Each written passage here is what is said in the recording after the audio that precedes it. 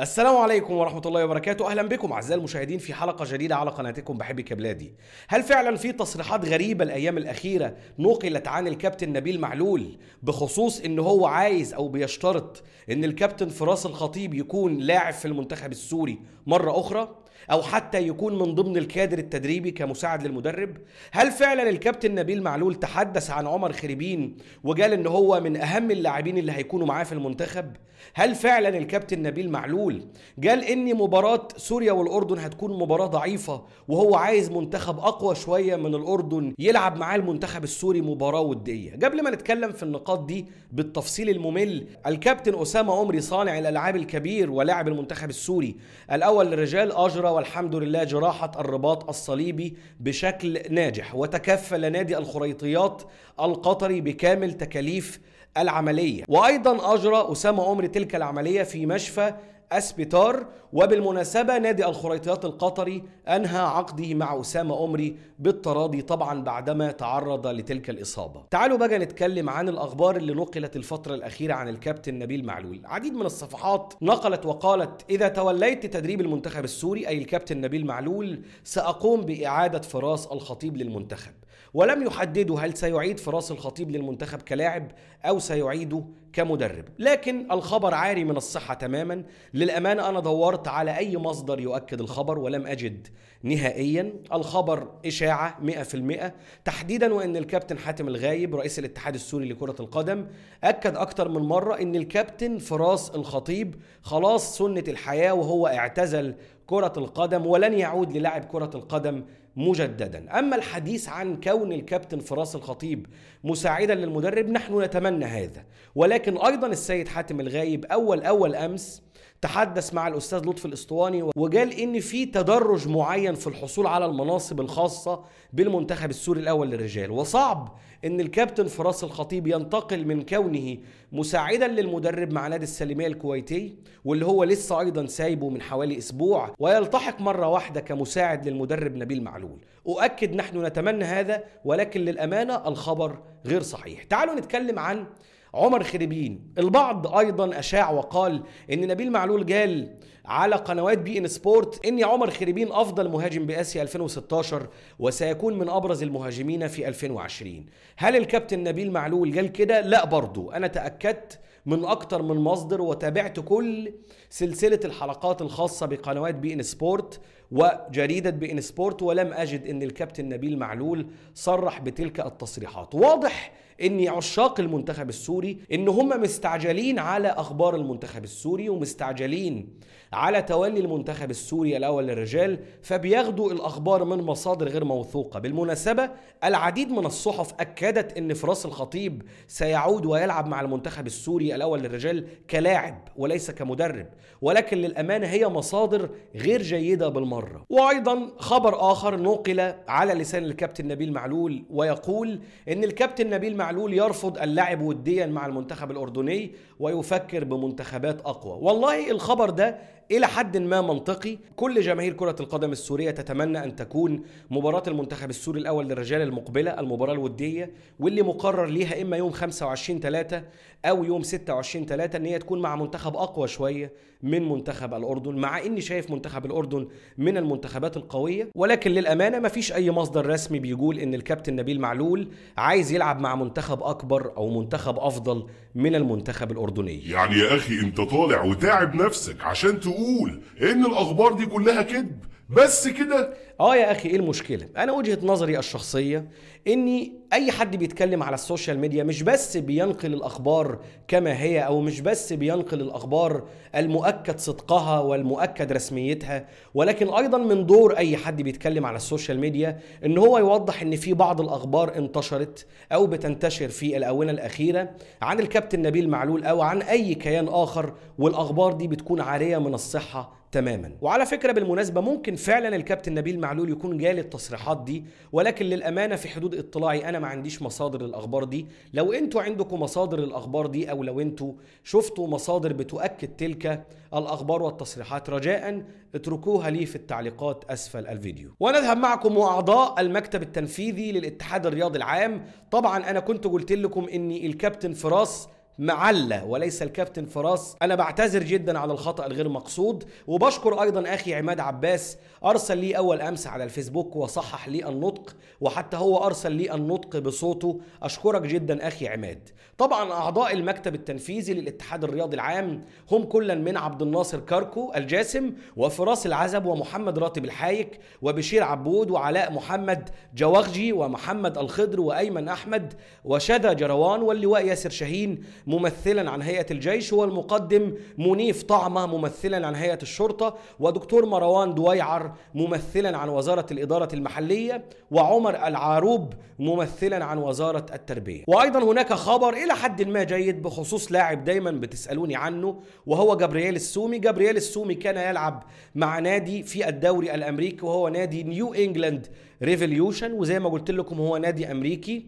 انتقل حديثا جابرييل السومي إلى نادي سويدي وهو نادي اسكالستونا السويدي وهو نادي من أندية الدرجة الأولى بالدوري السويدي. العقد طبعا لمدة سنة واحدة قابلة للتجديد ومن المقدر أن تكون أول مباراة لجابرييل السومي بإذن الله يوم الأحد المقبل في الكأس كأس السويد مع نادي كارلس كورونا. ونذهب معكم وفقرة الرد على تعليقاتكم الكريمة والتعليق الأول من روز روز وأنا بعتذر جدا إن اتأخرت عليك في الرد. أنا شفت تعليقك أكتر من مرة. هو بيقول اسمي أحمد إبراهيم إلى آخره وبيقول هل يستطيع المدرب نبيل معلول أن يوصل منتخب سوريا لكأس العالم؟ والله أخي الغالي أنا مستبشر خير بقيادة رياضية جديدة باتحاد رياضي عام جديد بلجنة جديدة للمكتب التنفيذي باتحاد سوري جديد وبمدرب جديد. يعني يفترض إن بإذن الله إن شاء الله إحنا مش باقي لينا فقط غير لعيبة تتحمل المسؤولية وبإذن الله إن شاء الله تصل إلى كأس العالم. ومش بس تصل إلى كأس العالم وكمان تعمل إنجاز في كأس العالم بإذن الله. وهو بيقول أنا بحب حراسة المرمى وأتمنى أن أكون أفضل من إبراهيم علم. أخي الغالي أنا عشان أكون صادق معاك وعشان أكون مباشر وواضح معاك الآن الفرص صعبة جدا جدا. وعشان أكون برضو صادق معاك الآن المنافسة شديدة جدا جدا. ولكن عليك أن تبدأ. 13 سنة سن صغير جدا جدا. ابدأ من الآن وركز جدا جدا. ومين عارف يمكن بعد كده نغطي أخبارك يعني إلى جوار أخبار إبراهيم علمة وتعليق آخر من حساب يحمل اسم سباعي بدر. أخي أتمنى ترد على تعليقي شو أخبار السومة. عمر السومة ما شاركش للأسف في المباراة اللي فاتت مع نادي استقلال طهران الإيراني. إن شاء الله مقدر إن هو يشارك في الأيام المقبلة تحديدا في مباراة الأهلي السعودي مع الفتح. والمباراة هتكون بعد بكرة بإذن الله يوم الجمعة الساعة 7:30 مساء بإذن الله. وتعليق آخر من محمد دوي أخي الغالي كم مدة غياب اسامه عمري عن الملاعب؟ أتمنى الرد وشكرا لك. أخي الغالي إن شاء الله بإذن الله على الأغلب أسامة عمري هيغيب الفترة العادية اللي بيغيبها أي حد بيعمل عملية الرباط الصليبي واللي هو عملها من قبل يعني في حدود من أربع إلى ست شهور في حدود اطلاعي. وتعليق آخر من أبو حمدي الحمداني أخي سؤال هل يوجد في مصر سوريين طبعا يا أخي الغالي. في مصر هناك سوريين كثر. وأيضا في الصعيد عندنا في عدد كبير من السوريين. وعندنا بعض المصانع في المناطق الصناعية بيملكها سوريين وبيقدموا إنتاج عالي جدا جدا. واللي متابع منكم أغلب محلات الشاورما الكبيرة في القاهرة هي أيضا مملوكة لناس سوريين. يعني نحن نحترمهم ونقدرهم. وطبعا بتكون أفضل أنواع الشاورما مع احترامنا طبعا للمحلات المصرية. وتعليق آخر من عبود الشامي أخي الغالي أتمنى تجاوبني. ما عقول نشوف اسم جديد في المنتخبات مع المدرب الجديد؟ نعم أخي الغالي بكل تأكيد. إن شاء الله بإذن الله وأنا الكلام اللي بقول لك ده من مصدر رسمي. إن شاء الله بإذن الله في الأيام المقبلة هناك أسماء جديدة لدى المنتخب السوري الأول للرجال والكابتن نبيل معلول يحق لي إن هو حتى في المباريات الودية المقبلة وحتى في مباريات المالديف وغوام والصين المقبلة إن هو يأتي بمنتخب جديد. ولكن عشان نكون واقعيين في عدد من اللاعبين لا يمكن الاستغناء عنهم عمر السومة إبراهيم علمة أحمد الصالح عمر ميداني كل الأسماء دي. وأنا عملت حلقة من كام يوم عن العشر أسماء اللي ما ينفعش المنتخب السوري يعني يستغني عنهم في الفترة المقبلة ولكن أبشرك الكابتن نبيل معلول له صلاحية الانتقاء من المنتخب الأولمبي ومن المنتخب السوري الأول للرجال وحتى من المحترفين في الخارج. وتعليق آخر من حساب يحمل اسم سوريا وطني. يعطيك العافية أخي الغالي. أحمد بدي أسألك أشكرك أخي الغالي هل الكابتن أيمن الحكيم مستمر مع المنتخب الأولمبي؟